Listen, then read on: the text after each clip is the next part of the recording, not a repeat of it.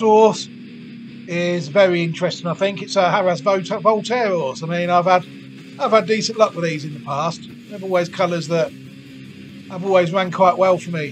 They've always sort of ran to their level, which I'm hoping this one does. Because if it does, it'd be decent.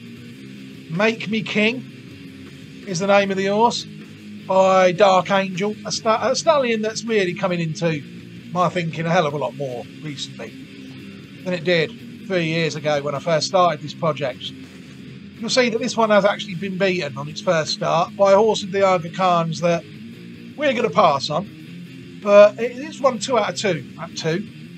I'm going to pass on it though because I've had a look at it and I think we could we could let that one go round and if it beats us, it beats us. We can't be on them all. This one here, Make Me King, I think if people take a look at it, they'll see that the pedigree again is uh, is quite interesting. Maybe not as interesting at first glance as people will see.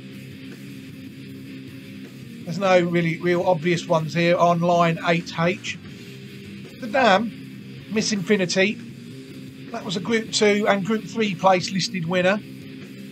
She is a half sister to, the 2014 Group 1 Prix Morny winner and former stallion, the Wow Signal. Unfortunately, died after uh, foaling only one, one or two crops and also the Japanese Group 1 and Group 1 placed Group 3 winner Unicorn Lion.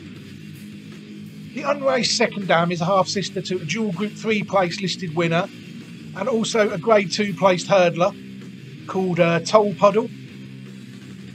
The third dam, Tabdia, well, she is a Group 2 place listed winner and she's also a half sister to the 1996 French 1000 Guineas winner Tarib. The sixth dam, well, she is a half sister to a dual Group 1 placed, including the 1981 French 1000 Guineas dual Group 2 and Group 3 winner Cresta Rider. The sixth dam, in case anyone is uh, trying to trying to remember the name of these ancient dams to use in their own uh, thinking, is Thoroughly Blue. Is the seventh dam the sixth dam, sorry.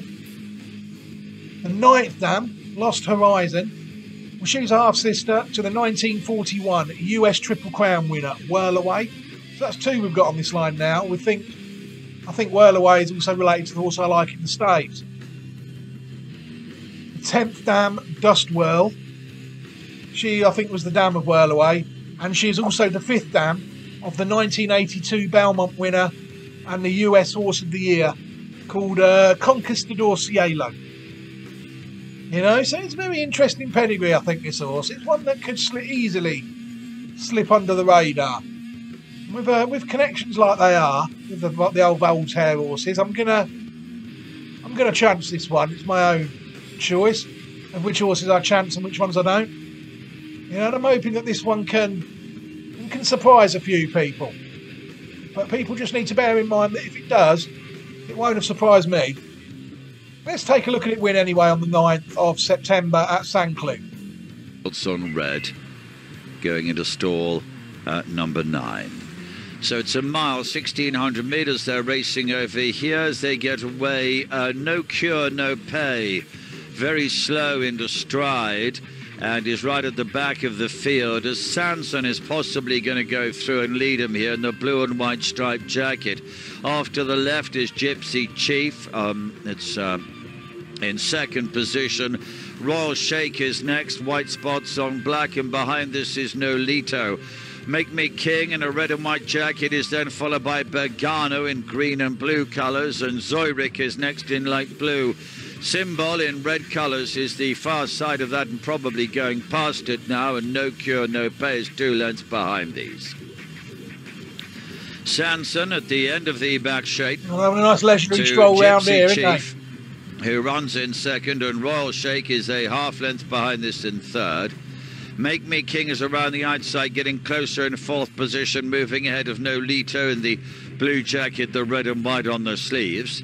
Symbol in red is alongside Bergano in green and blue. Zoirik in light blue is ridden along.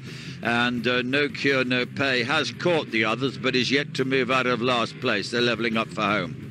And Sanson on the right continues to lead, although Gypsy Chief is along, almost alongside, now being brought through with its challenge. Uh, behind these is Make Me King, in the red and white jacket moving through to challenge for the lead now. Gypsy Chief, the leader to Make Me King. Sanson behind these. Royal Shakers next. They're heading down to the closing stages. Make Me King in the red and white jacket. The near side of Gypsy Chief as they race towards the line. And it is Make Me King who wins today. Gypsy Chief was in second and Royal Shake in third place. And they are followed in by Sanson and then Nolito. Mickael Barzalona brings number four, Make Me King, to win. I mean, if people look at it, people look at that run in isolation, I think they needed a faster pace for it to really be a conclusive race. But it won well, it knuckled down and won well.